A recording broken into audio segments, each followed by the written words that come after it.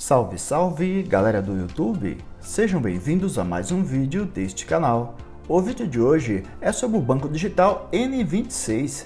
Enfim, depois de uma longa espera, o banco digital N26 chegou ao Brasil e já liberou a lista de espera para aqueles que querem testar o banco antes de todos.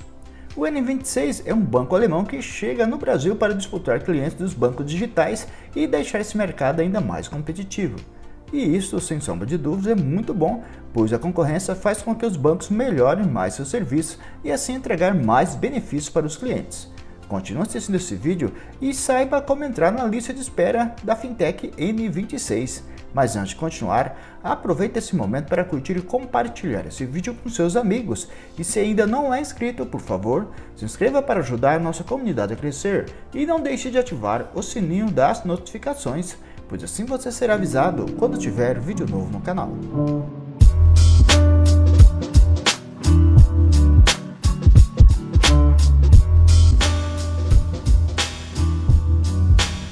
Então, pessoas, o mercado de bancos digitais no Brasil acaba de ganhar mais um concorrente. Nessa última quinta-feira, dia 4, o banco N26 chegou no mercado, tá, gente? O banco queria iniciar suas atividades no país em 2020, mas acabou adiando seus planos por conta da pandemia de Covid-19. O N26 é o segundo maior banco da Alemanha, com mais de 5 bilhões de clientes no país, e seu valor estimado é de cerca de 9 bilhões de dólares. Aqui no Brasil, o N26 já possui uma lista de espera de mais de 200 mil clientes e agora vai começar a funcionar para uma pequena parte de 2 mil clientes. Nessa fase beta, esses clientes vão testar o serviço do N26 e dar feedbacks para tornar a plataforma cada vez melhor. Contudo, o banco digital deve estar disponível para todos os clientes da lista de espera ainda no primeiro semestre de 2022. O N26 não divulga quantos clientes quer ter no Brasil, mas informa que seu objetivo é ter 100 milhões de clientes no mundo todo. Por enquanto, o banco tem apenas 7 milhões de clientes nos 26 países onde atua.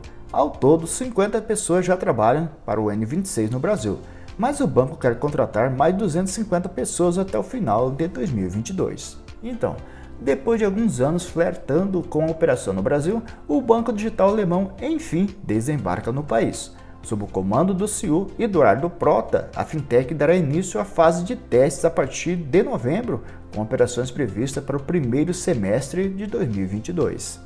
A fintech, fundada pelos austríacos Valentin Stauff e Maximilian Taintal em Berlim, na Alemanha, no ano de 2013, o banco planejava a vinda para o Brasil desde 2019. A promessa, segundo a empresa, é inaugurar agora uma segunda geração de fintechs com operação brasileira. De acordo com Eduardo Prota, o banco não deve seguir a mesma estratégia de outros concorrentes, como PicPay e Banco Inter.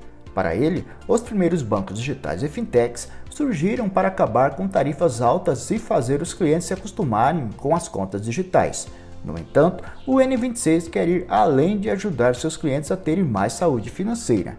Prota diz que, ao contrário de muitos bancos, o N26 não vai se voltar tanto para a obtenção de receita com crédito e pagamentos, optando por ganhar dinheiro com serviços relativos a investimentos e ao mundo financeiro. O N26 já recebeu uma licença do Banco Central para atuar como sociedade direta de crédito ainda em 2020.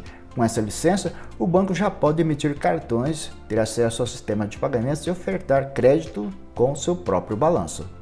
Como a aprovação para funcionar no Brasil ainda é recente, a opção para abrir a conta diretamente pelo aplicativo ainda não está disponível mas o N26 possibilita a inscrição dos futuros clientes em uma lista de espera que permite prioridade na liberação de abertura da conta.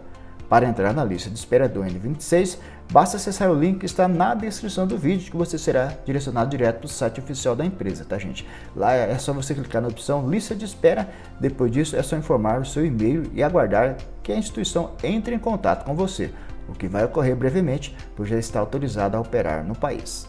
Então, logo aberta, a conta não terá taxas e nem custo de manutenção. Também não é necessário manter nenhum valor na conta, pois não há tarifas de fundo insuficiente.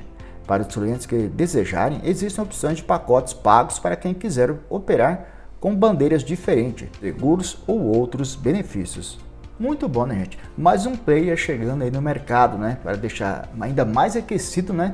Esse mercado de contas digitais e fintechs, né? Vamos ver se realmente vai valer a pena ter conta nesse banco.